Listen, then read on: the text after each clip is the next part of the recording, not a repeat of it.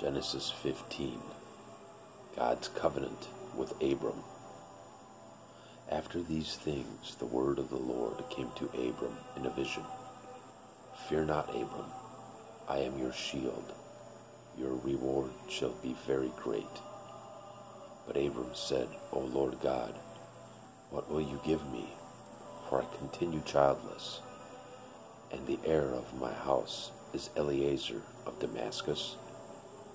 And Abram said, Behold, you have given me no offspring, and a member of my household will be my heir.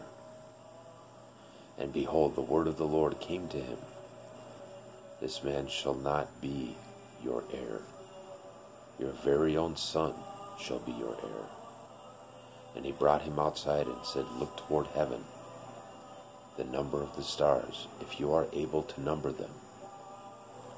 Then he said to him, So shall your offspring be. And he believed the Lord, and he counted it to him as righteousness. And he said to him, I am the Lord who brought you out from Ur of the Chaldeans to give you this land to possess. But he said, O Lord God, how am I to know that I shall possess it? He said to him, Bring me a heifer three years old, a female goat three years old, a ram three years old, a turtle dove, and a young pigeon.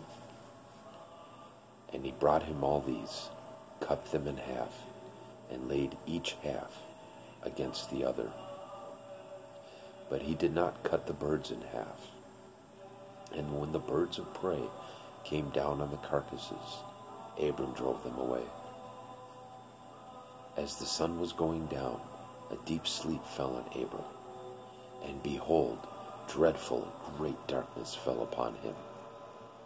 Then the Lord said to Abram, Know for certain that your offspring will be sojourners in a land that is not theirs, and will be servants there, and they will be afflicted for four hundred years.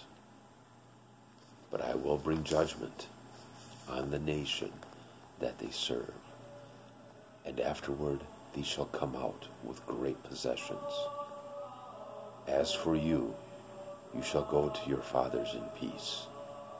You shall be buried in a good old age, and they shall come back here in the fourth generation.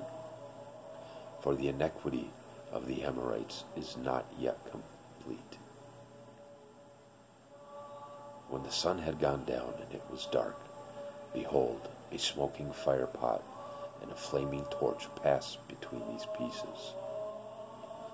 On the day that the Lord made a covenant with Abram, saying, To your offspring I give this land, from the river of Egypt to the great river, the river Euphrates, the land of the Kenites, the Kenizzites, the Cadmonites, the Hittites, the Perizzites, the Rephaim, the Amorites, the Canaanites, the Girgashites, and the Jebusites.